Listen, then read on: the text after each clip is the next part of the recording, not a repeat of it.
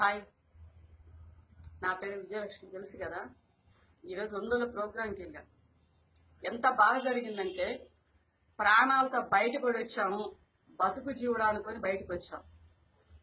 అంత అంత దరిద్రంగా జరిగింది ప్రోగ్రాం సమన్వయకర్తలు అన్నారు. కానీ అక్కడికి వచ్చింది ఎవరు? మొత్తం అభిమానులు. సమన్వయకర్తలంతా గేటు పెట్టే ఉన్నారు. ఎవ్వరి లోపలికి రాలేదు అసలు. మెసేజ్లు వచ్చిన వాళ్ళందరూ బయట ఆగిపోయినారు.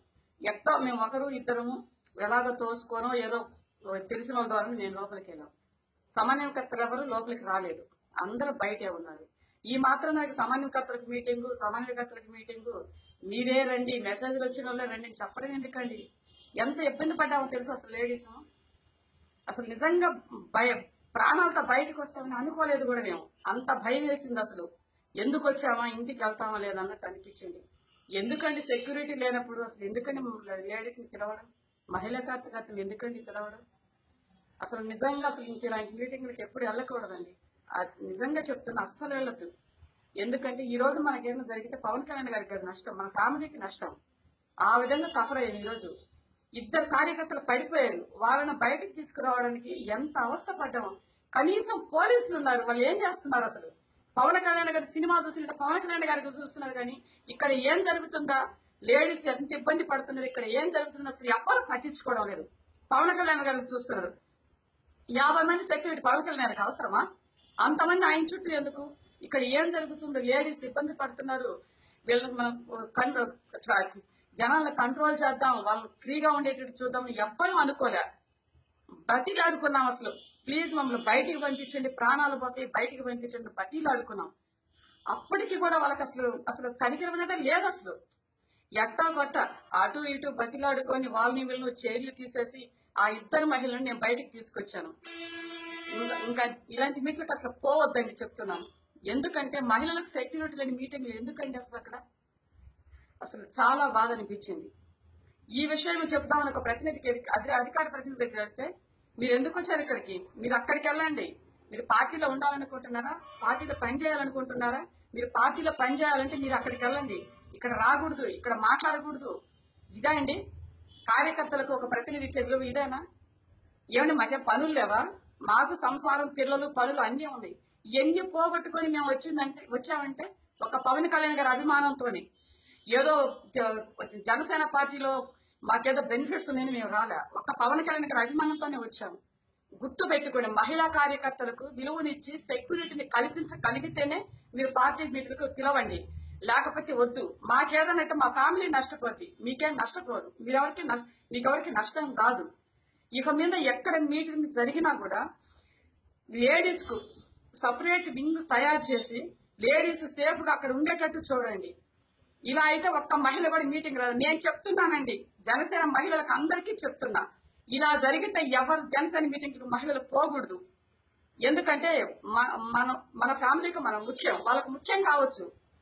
మన వల్ల పార్టీ బలపడుతుంది. అధికార ప్రతినిధులు ఏసీలలో ఉంటూ ఏసీ కాలంలో తిరుగుతూ వాళ్ళు చేసేదేం లేదు. వాళ్ళ వల్ల పార్టీకి ఎటువంటి మేలు జరగడం లేదు. పార్టీ బలపడుతుందంటే మన వల్లనే. మనకు రక్షణ లేనప్పుడు ఎందుకు? అధికార ప్రతినిధులు మనకి విలువైనప్పుడు ఎందుకు మన పార్టీలో ఉండాలి? ఏం ఆ మాత్రం తెలియదా అన్ని వదిలిపెట్టుకొని రాత్రి బావులు పార్టీ కోసం బయట తిరుగుతున్నాం. ఎండా వానలు కూడా బయట తిరుగుతున్నాం. పార్టీని ప్రజల్లోకి తీసుకుపోతున్నాం. మనకు రక్షణ లేనప్పుడు మనకి గుర్తింపు లేనప్పుడు మనకి విలువ లేనప్పుడు మనం ఎందుకు పోవాలి పార్టీ కోసం?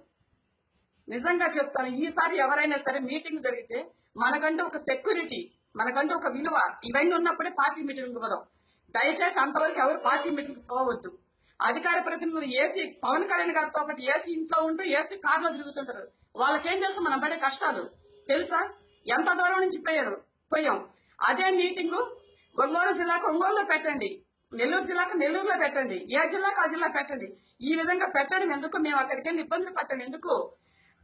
మీరు నెల్లూరు జిల్లా వాళ్ళు ఇక్కడ మీ పెత్తనాలు సాగు ఇది మా జిల్లా ఇలా ఎందుకు ఆ కార్యకర్త వచ్చారు? లేడీ లేడీస్ మమ్మల్ని అడిగారు. మీరు నెల్లూరు నుంచి వచ్చారు. మీరు మీ పెత్తనం ఇక్కడ లేదు. ఇది మాది మా జిల్లా అని అడుగుతున్నారు. అవన్నీ మాకు అవసరమా? దయచేసి ఇట్లాంటి మీటింగ్లు ఎప్పుడు పెట్టొద్దు. ఏ జిల్లాకు ఆ జిల్లా పెట్టండి. కనీసం పవన్ కళ్యాణ్ గారు చెప్పిన ఒక్క మాట కూడా మేము వెళ్ళలేదండి ఎందుకంటే మా పరిస్థితి అట్టుంది. ప్రాణం పోద్దా ఉండదని అల్లాడిపోయాం. అసలు ఆ ఆ పరిస్థితి ఒకటి. ఈ మాది ప్రకాశం జిల్లా మాదే ఇక్కడ అని ఆ లేడీస్ మాటలు ఒకటి బయటికి రావాలనే తపన ఒకటి. అసలు పవన్ కళ్యాణ్ గారు ఏం చెప్తారో మాకైతే ఏం తెలియదు బతుకు జీవుడాని ప్రాణాలు అరిచేతిలో పెట్టుకొని పోలీసులను కాళ్ళ పడి ఆ బార్కెట్స్ తొలగించుకొని బయటకు వచ్చాం.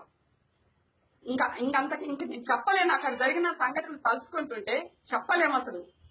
అధికార ప్రతినిధులు లేడీస్ని గౌరవించడం నేర్చుకోండి.